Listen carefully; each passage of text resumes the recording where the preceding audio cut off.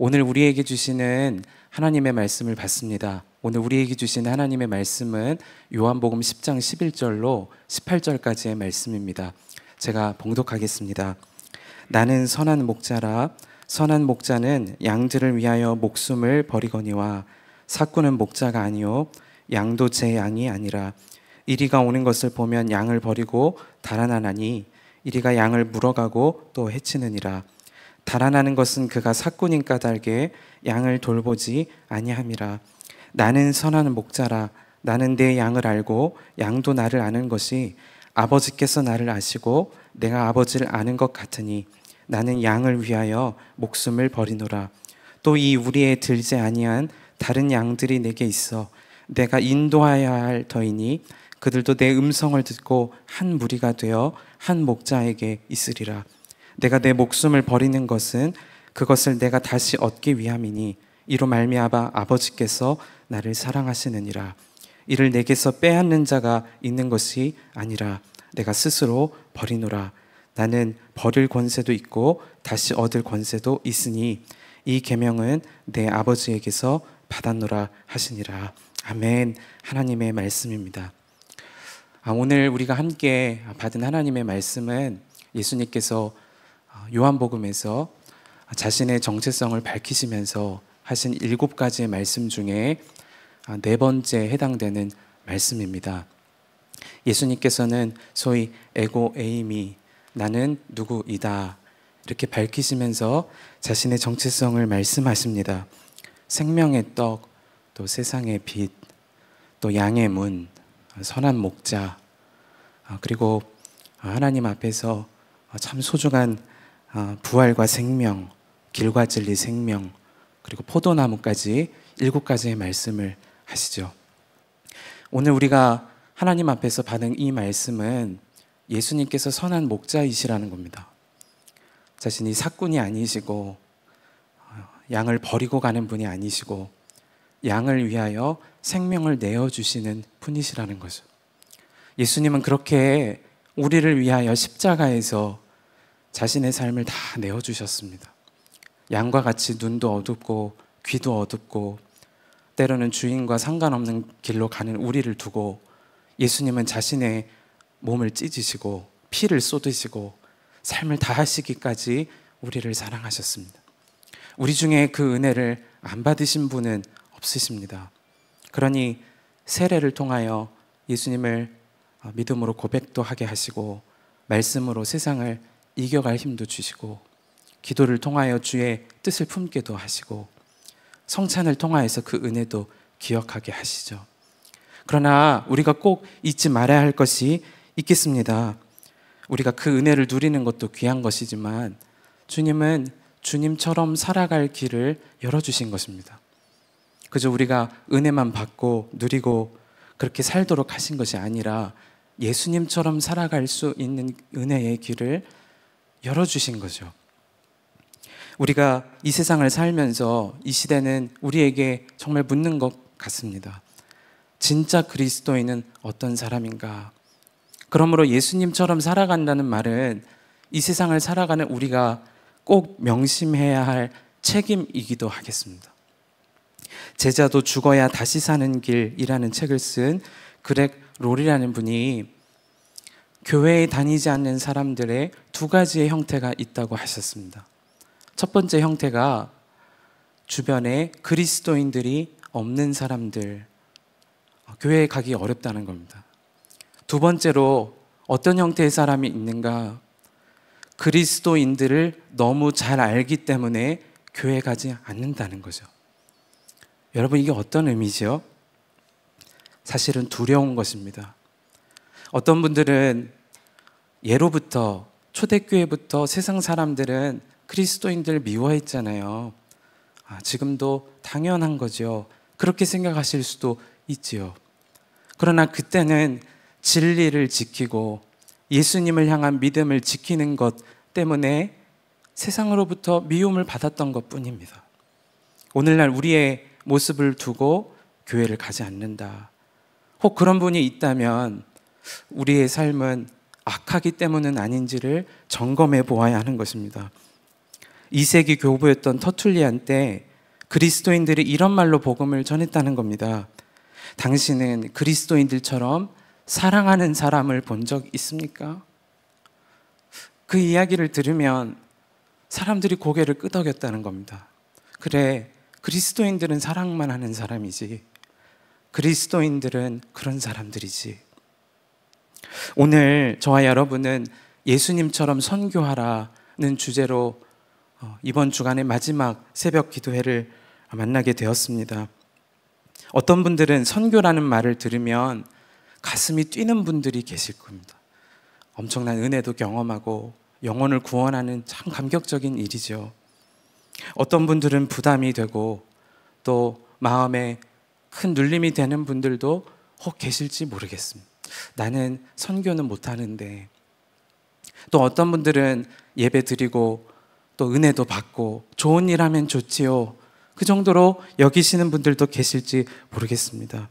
여러분, 다 좋은 의미가 있겠지요. 그러나 명심해야 할 것이 있겠는데, 만일 우리가 은혜도 받고, 그리고 좋은 일도 교회에서 하고, 실제로 일상에서 그런 삶을 산다고 하지만, 가정과 직장과 일터와 학교에서는 조금도 주님을 닮고 살아가지 못하고 있다면 우리의 삶은 선교하는 것과 주님을 닮는 것을 따로 생각하고 있지는 않은지를 진지하게 고민해 봐야 하는 것입니다.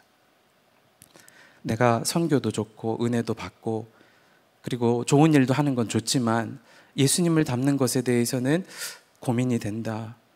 사실은 심각한 문제라고 여겨지는 거지요. 오늘 이 아침에 우리가 그래서 주님의 말씀을 붙잡고 함께 기도하기를 원하는 겁니다. 루벤 아처 토레이라는 목사님이 계세요.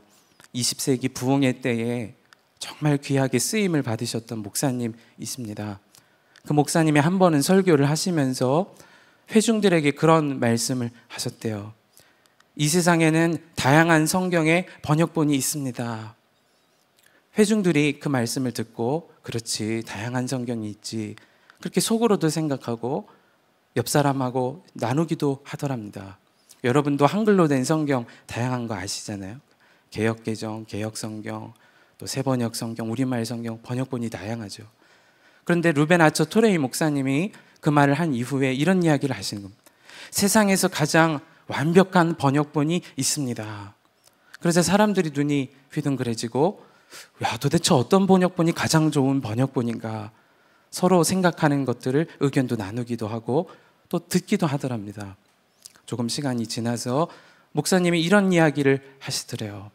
이 세상에서 가장 좋은 성경의 번역본은 삶으로 번역한 것입니다. 사랑하는 성도 여러분, 우리가 어떤 삶을 살아야 할까? 주의 말씀을 살아내는 삶이라고 여겨집니다. 말씀이신 예수님이 이미 우리 안에 오셨고 그분 자체가 말씀이시니 말씀을 항상 대하고 사는 사람은 주님을 닮는 거죠. 주님의 은혜가 공급되는 것이죠. 그리고 주님의 은혜의 통로로 사는 선교의 역사가 가정에서도 일터에서도 직장에서도 심지어 사랑하는 교회의 소그룹 공동체에서도 계속해서 일어나게 될 것을 믿게 되는 것입니다. 그렇습니다. 예수님께서는 말씀 그 자체이시죠. 요한복음 1장 14절 말씀에 말씀이 육신이 되어 우리 가운데 거하심에 우리가 그의 영광을 보니 아버지의 독생장의 영광이요 은혜와 진리가 충만하더라 그런 말씀을 했습니다. 사도 요한이 다음 세대에게 복음을 증거하면서 그가 눈으로 보고 귀로 들었던 예수님에 대하여 회고하면서 어떻게 표현을 했는가? 그분은 말씀이신데 은혜와 진리가 충만하시더라는 겁니다. 여러분, 여러분 주변에는 생각만 해도 아, 그분은 은혜롭다. 혹시 그런 분이 계신가요? 아, 그분은 생각만 해도 정말 진리의 말씀처럼 사신다. 그런 분이 계신가요? 만약에 없다면 사실은 정말 기도해야 할 일이겠습니다. 그리고 우리 삶을 먼저 돌아봐야겠습니다. 누군가에게 우리도 그런 모습으로 살지 못하고 있는 거니까요. 그 말은 우리가 그렇게 살아가야 할 이 시대, 시대적인 사명을 갖고 있는 그리스도인이라는 정체성 그리고 사명자라는 의미이기도 합니다. 주님을 닮아서 보기만 해도 은혜가 되고 일상이 정말 진리의 삶을 살아간다면 어떤 일이 일어날까요? 가정 안에서 화해의 역사가 일어날 겁니다. 공동체 안에서 용서의 역사가 일어나겠죠. 선교의 현장은 정말 말할 수 없는 주님의 은혜와 진리가 드러날 것입니다. 주님이 은혜와 진리 그 자체시니까 말씀 그대로 살아가면 주님이 그 안에서 놀라운 생명의 역사를 이루어 가시는 것이죠. 여러분, 우리가 그 마음을 품고 오늘 이 아침에 같이 기도하기를 정말 원하는 것입니다. 예수님께서는 오늘 우리가 나누는 선교라는 단어 자체는 사용하시지는 않으셨습니다. 그러나 여러분 아시죠? 가장 완벽한 선교의 모델이 예수님이시죠. 예수님은 그렇게 사셨습니다.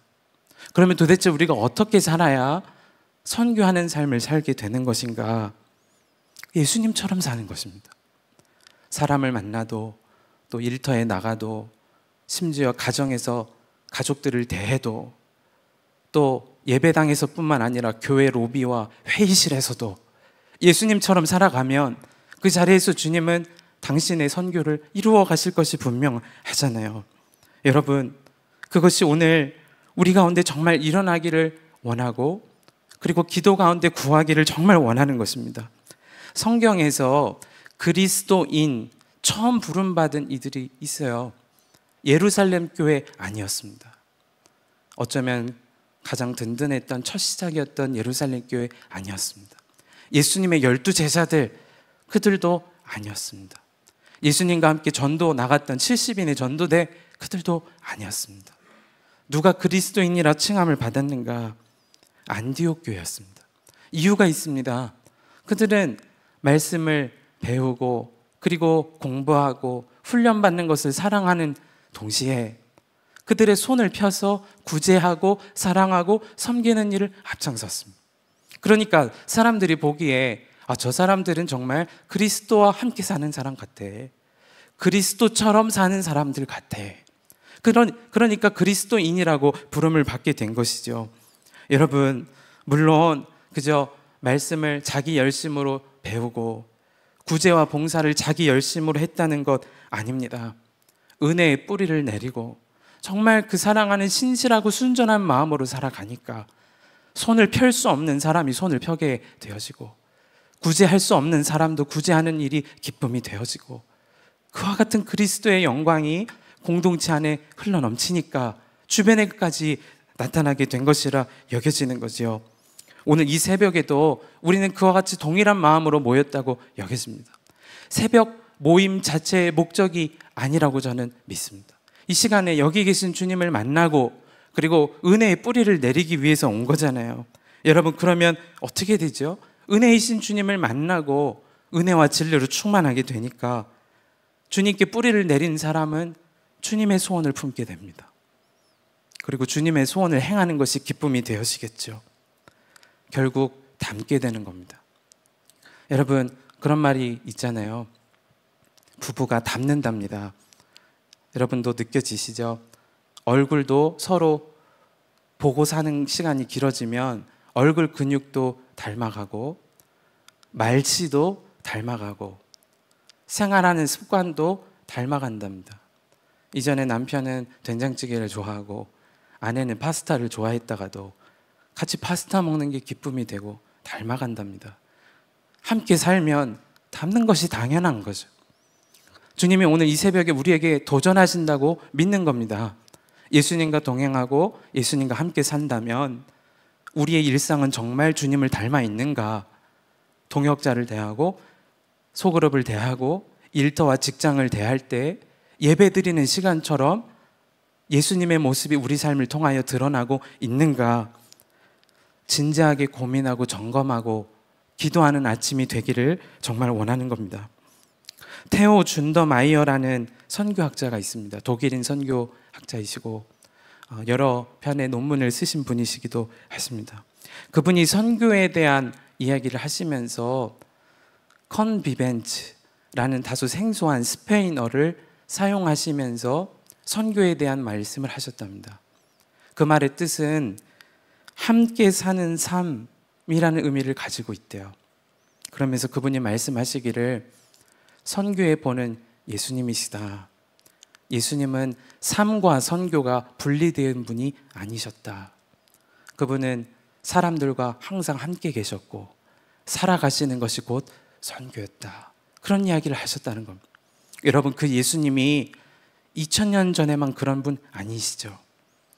지금도 사실은 말구유보다도 더 더러운 우리 마음에 오셨습니다.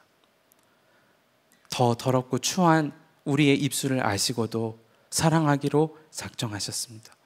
우리의 일상을 같이 걷고 계십니다. 도대체 그러면 우리가 어떤 삶을 살게 되죠? 주님과 함께 살면 주님을 닮게 되는 겁니다. 그리고 생명의 역사가 계속해서 흘러갈 것을 믿게 되는 겁니다.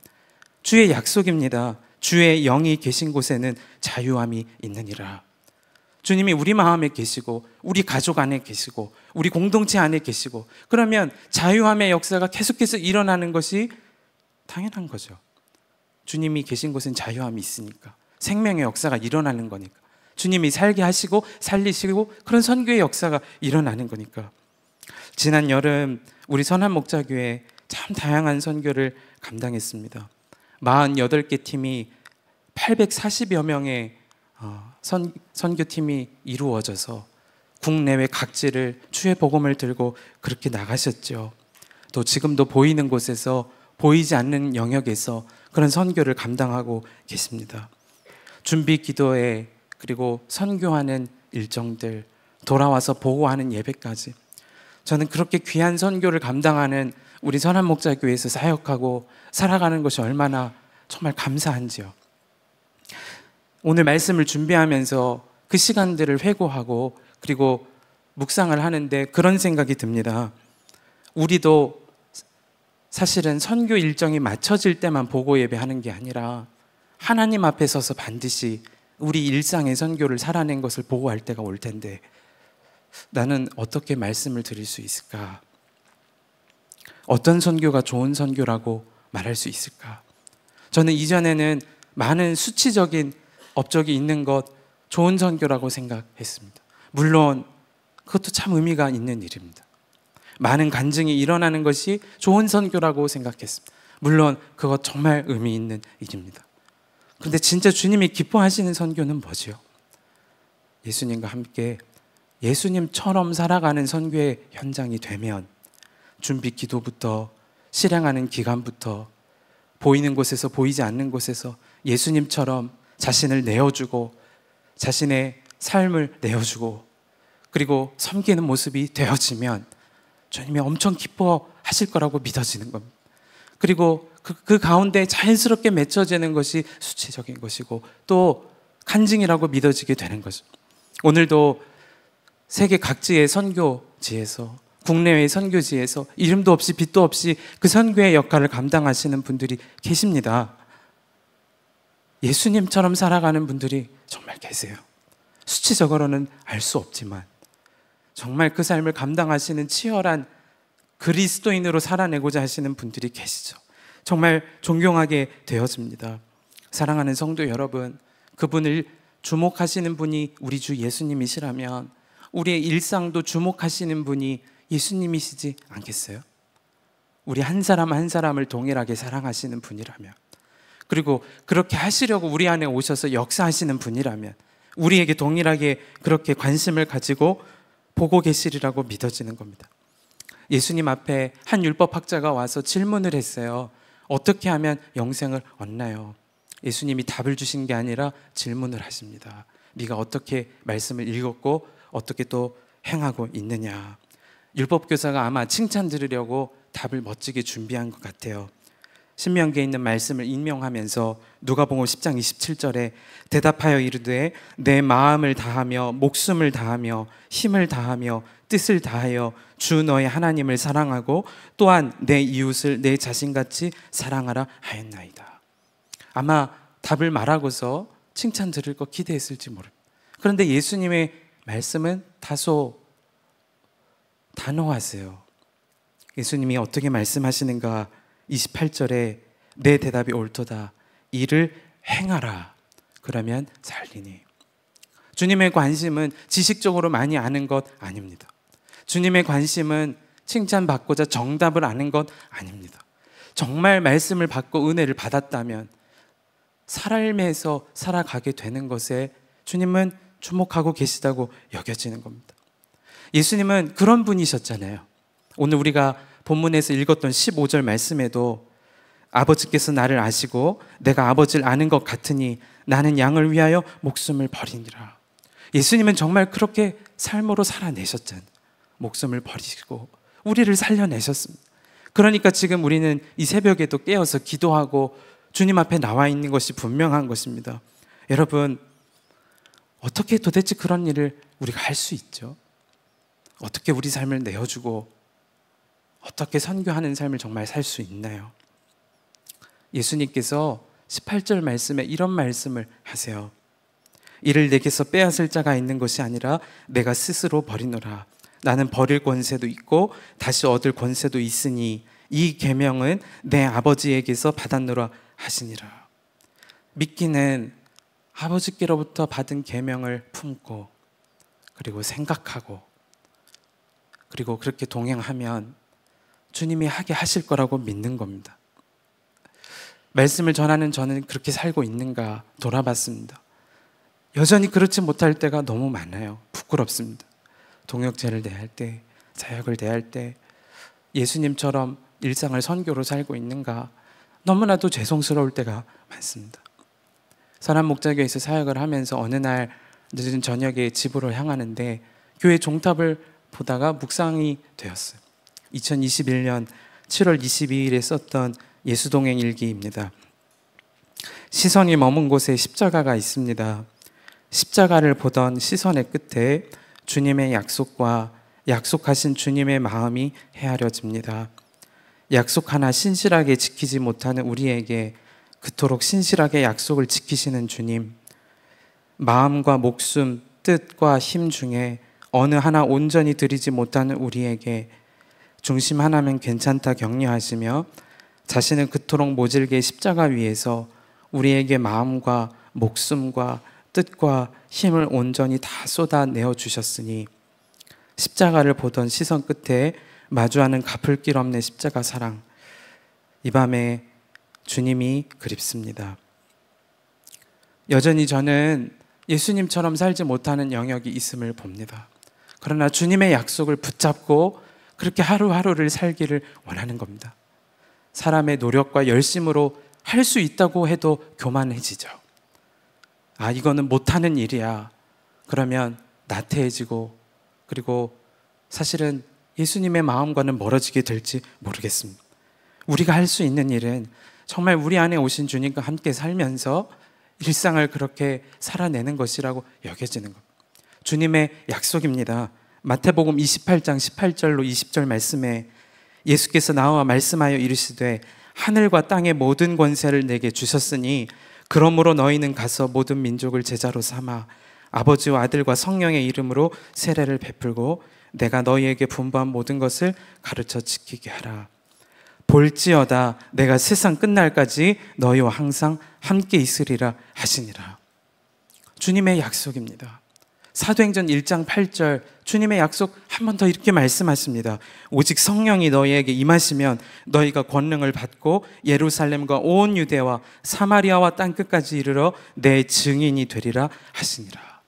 증인이라고 번역된 마르투스 순교자적 삶 예수님처럼 내어주고 자신의 삶을 헌신하고 그렇게 되게 하신다는 겁니다. 그 주님이 이미 우리 가운데 오셨고 이제 일상에서 우리 삶을 그렇게 이끄시고 가실 거라는 확신이 드는 겁니다.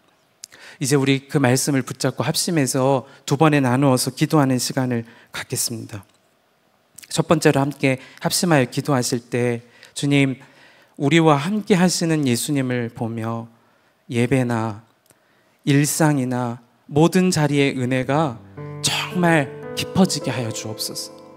이미 함께 계시는 주님으로 인하여서만 공급될 수 있는 은혜가 예배당에서나 그리고 일터에서나 학교에서나 가정에서나 회의실에서나 교회 로비에서나 동일한 은혜로 충만하게 깊어지는 계절로 우리가 다 들어가게 하여 주소서. 합심하여 주여 한번 부르시고 통성으로 기도하겠습니다. 주여 오 살아계신 아버지 하나님 그렇습니다. 하나님 우리가 그 은혜의 계절로 들어가고 싶습니다. 아버지 하나님 정말 함께 계시는 주님으로 인하여서 위로도 받고 하나님 은혜도 받는 것이 귀하지만 하나님 일상에서도 그 동일한 은혜를 베풀고 계시는 주님과 함께 더 깊은 은혜의 자리로 들어가기를 원합니다. 아버지 하나님 그래서 우리의 삶이 그저 하나님 은혜를 받고 누리는 삶을 하나님 넘어서서 그리스도의 신실한 제자로 진정 그 이름 그대로 그리스도인으로 예수님과 함께 살고 예수님처럼 살아가는 역사가 하나님 우리 삶에 실제로 일어나기를 간절히 원하오니 주여 아버지 하나님 우리의 은혜를 깨닫는 감각을 더욱 열어주시고 항상 그 은혜에 의지하여 살아가는 기쁨이 충만하게 하여 주시옵소서 하나님 우리를 붙잡아 주소서 하나님 의 은혜로 이미 역사하시는 주님을 믿습니다. 우리가 주님을 바라보게 하시고 의지하게 하여 주시옵소서. 이 시간 두 번째로 그 주님 앞에 다시금 이렇게 고백했으면 좋겠습니다. 주님 우리의 삶이 예수님을 닮아 예수님처럼 주님의 은혜와 진리를 드러내는 삶이 되게 하여 주옵소서. 예수님처럼 선교하는 삶의 일상이 정말 시작되게 하여 주소서. 우리 간절하게 주여 한번 부르시고 통성으로 기도하신 이후에 각자의 개인 기도의 시간으로 더 깊이 들어가겠습니다. 우리 합심하여 주여 한번 부르고 기도합니다. 주여, 오 살아계신 아버지 하나님 그렇습니다. 이미 그렇게 함께 하시는 주님을 믿습니다. 함께 하시는 주님을 의지합니다. 주님께서 우리를 하, 우리로 하여금 주님을 더욱 닮게 하시고 그래서 하나님 예배 시간뿐 아니라 우리의 일상에서 하나님 우리의 소그룹 모임에서 하나님 하나님 우리가 준비하는 모든 과정 중에도 주 예수님을 닮고 주 예수님과 함께 살아가는 역사가 있게 하여 주실 것을 믿습니다. 예수님처럼 섬기고 예수님처럼 인내하고 예수님처럼 겸손하고 하나님 그 모든 일상을 통하여서 하나님의 성교를 이루어 가실 주님을 의지합니다. 주여 하나님 우리를 붙잡아 주시고 매 순간 매 순간 그 은혜의 보좌 앞으로 깊이 들어가 누리고 나누고 하나님 은혜의 통로로 신실하게 서는 역사가 있게 하여 주시옵소서. 주님의 신실한 은혜의 통로로 서게 하여 주시옵소서. 하나님 우리가 그렇게 주님을 닮기를 원합니다. 가정에서도 주님을 닮기를 원하고 일상에서도 주님을 닮기를 원합니다. 하나님 식사하는 자리에서도 주님을 닮기를 원하고 하나님 모든 자리에서도 주님을 닮기를 원합니다. 우리의 일상이 주님을 닮은 선교가 되게 하셔서. 하나님 주님과 함께 주님처럼 하나님 정말 영광스러운 주의 놀라우신 은혜의 삶으로 하나님 은혜의 통로로 살아가는 역사가 실제가 되게 하여 주시옵소서. 이 새벽을 깨워 기도한 모든 모든 분들과 함께하는 모든 분들에게 하나님 그리고 저 자신에게 그와 같은 실제의 역사가 있게 하여 주시옵소서.